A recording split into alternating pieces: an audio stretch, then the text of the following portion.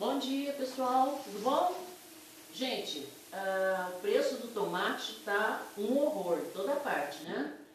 Verdade que já está baixando, né? Já tem, a gente já encontra tomate por 4, 4,5, 5 reais, mas ele chegou, né? Aqui, aqui na minha cidade eu não vi é, esse preço não, mas eu já eu ouvi dizer que tem, teve lugares que chegou a 12 reais, é, 15, até 15 reais, parece que eu ouvi dizer. Aqui o máximo que, que eu vi for, foram é, 8, 8 reais, 8,50, por aí, né? É, talvez um pouco, um pouco mais. Mas teve lugares que ficou, nossa, muito caro mesmo. Então, aqui na, na minha cidade, a gente tem uma quitanda aqui, que de vez em quando eles fazem uma promoção muito doida assim de, de tomate, qualquer outro produto, né? Mas o tomate, ele amadurece muito rápido, né? Quando ele está maduro, se o comerciante não, não, não colocar um preço bem bom nele, ele vai perder, né? Vai murchar, vai perder, vai, vai apodrecer, vai perder. Então o que eles fazem? Quando tem um tomate que está assim maduro e está demorando para vender, porque como agora é época de frio, muita gente não não dá muita importância para saladas, né? Então a tendência é que os tomates, é, é, que as pessoas não comprem muito legumes verduras, né? Inclusive tomate. Então eu passei lá uh, ontem, eu sempre faço isso. Quando o preço está bem em conta, bem baixo, eu compro uma quantidade boa para eu fazer molho assim para um bom tempo. Porque eu, uma coisa que eu não suporto é quando eu vou usar molho, alguma coisa, tem que fazer o molho na hora, né? Porque eu não gosto de molho pronto, molho de, de, de sachê, né? De, de é, eu não vou, caixinha eu não, não acho graça, eu não gosto, eu gosto de fazer o meu molho. E nem sempre, né, a gente está com ele pronto ali, né? Então, quando eu acho uma quantidade boa, assim, uh, um preço bom de tomate, ele pode ser pequeno, pode ser grande, pode ser do jeito que for, mas se ele tiver em condições boas para fazer molho, é isso que eu faço. Eu compro uma grande, uma boa quantidade e faço molho, coloco nos vidros, né, embalado, embalado é, para conserva. Faço aquela conserva que vai durar vários meses. E então, gente, foi o que eu fiz. Achei um preço bom. Sabe qual o preço que eu achei o tomate? Um real o quilo. Vou mostrar os tomates, a belezura que eles estão.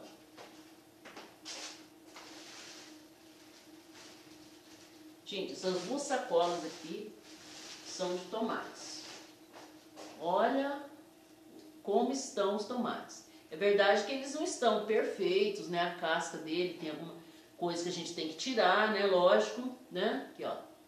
Eles não estão 100% é, bonitos, né, perfeitos, mas para molho eles estão excelentes.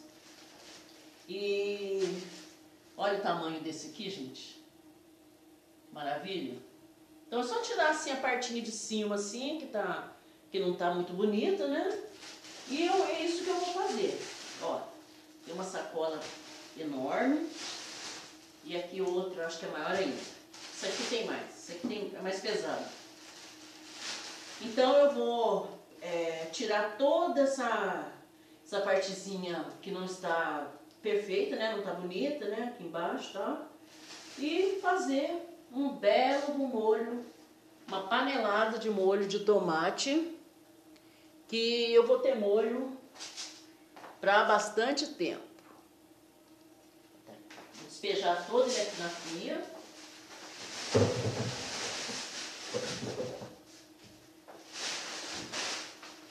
vou deixar alguns, né? Não vou usar todos não.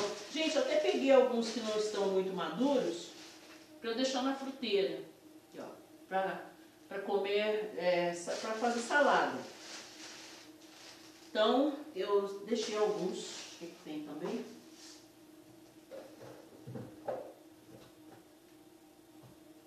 Eles estão firminhos, né? Eles, é, apesar de eles não estarem bonitos, eles estão muito firminhos.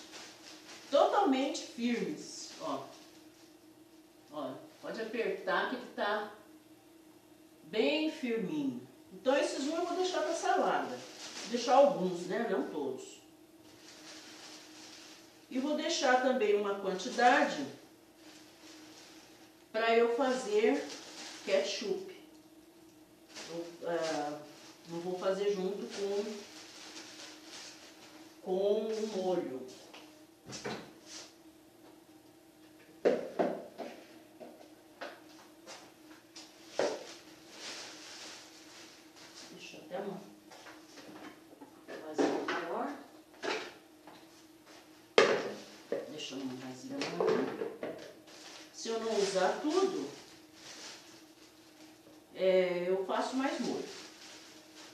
perder, eles não vão. Isso eu tenho certeza. Olha, gente, separei essa quantidade aqui, que eu vou usar posteriormente para fazer ketchup.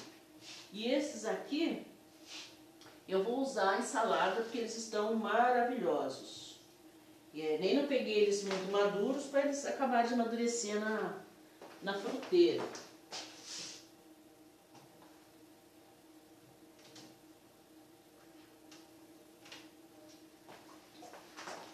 Bom, então aqui, esse daqui eu vou virar aqui também. Olha, gente, encheu a minha pia. Vou virar um pouquinho aqui. Olha lá, minha pia tá praticamente cheia, né, de, de tomate. E eu vou começar a prepará-los agora para fazer esse molho, certo? Pessoal, olha esse aqui, por exemplo, né? Então ele tem essa partezinha aqui. Eu tiro.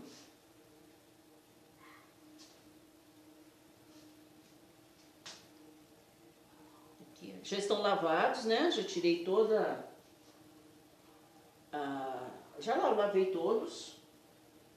Aqui essa partezinha aqui de cima eu tiro com a pontinha da faca, né? Pra não para não desperdiçar, que é só mesmo essa, essa coisinha escurinha, né, que é a parte que segura no galho. E, e pronto. Vou abrir para ver, né? Olha, o tomate está perfeito. Olha, tá totalmente é, perfeito, né?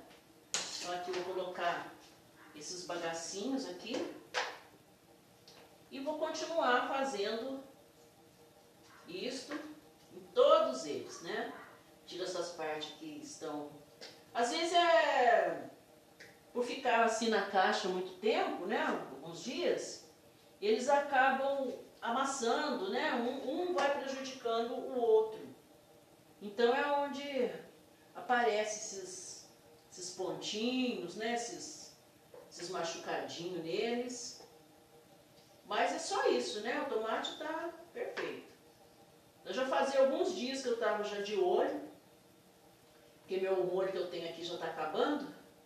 Então eu já tava de olho já pra, pra, pra ver, pra não perder, né? Quando eles colocassem lá na promoção lá, eu ir lá comprar uma boa quantidade. Olha, gente, 100%.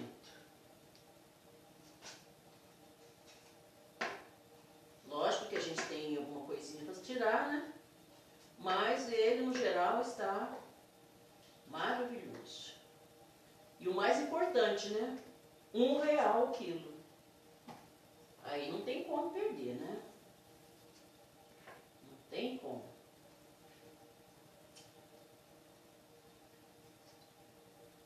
Gente, tem muita gente que reclama muito né, do custo de vida, é lógico a gente sabe que está mesmo o absurdo, né? Muito alto mesmo, a gente sabe disso. Mas tem coisas que a gente precisa saber comprar, né?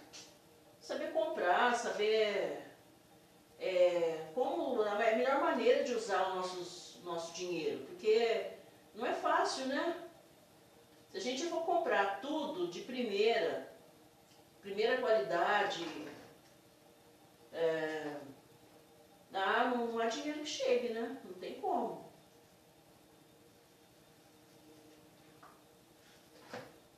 Todos eles estão maravilhosos.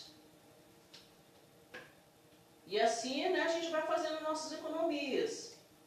Né? Não precisa ir lá na, na, na feira, no, no, na quitanda, comprar o mais bonito, o mais perfeito, mas também que é o mais caro. Né? Não tem a mínima necessidade. Ah, gente, lá na quitanda também eu achei uma cebola, vou mostrar também.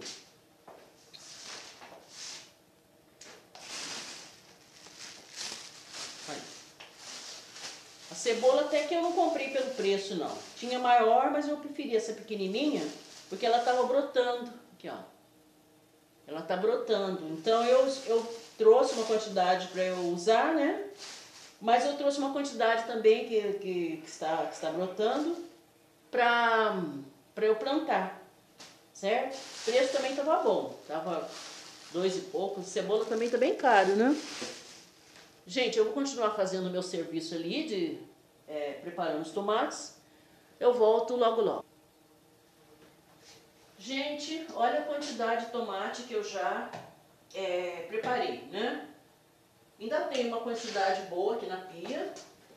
Aqui, ó. Tem bastante tomate aqui ainda. Menos que essa quantidade aqui, mas ainda tem bastante. Então, eu vou fazer o seguinte, eu vou terminar esse vídeo para não ficar muito extenso, muito cansativo, e eu volto logo em seguida, já com ele já todo picadinho, né, porque eu vou ter que picar em pedaços menores, e uh, para eu colocar na, no fogo, né, na panela. Então, é um trabalho bem demoradinho, que vai me ocupar um bom tempo, certo, pessoal? Então, eu vou continuar fazendo uh, no próximo vídeo, eu agradeço muito a atenção, muito obrigada. Não se esqueça de assistir a continuação. É, fiquem todos com Deus. Não se esqueça do joinha e até o próximo vídeo. Tchau, tchau!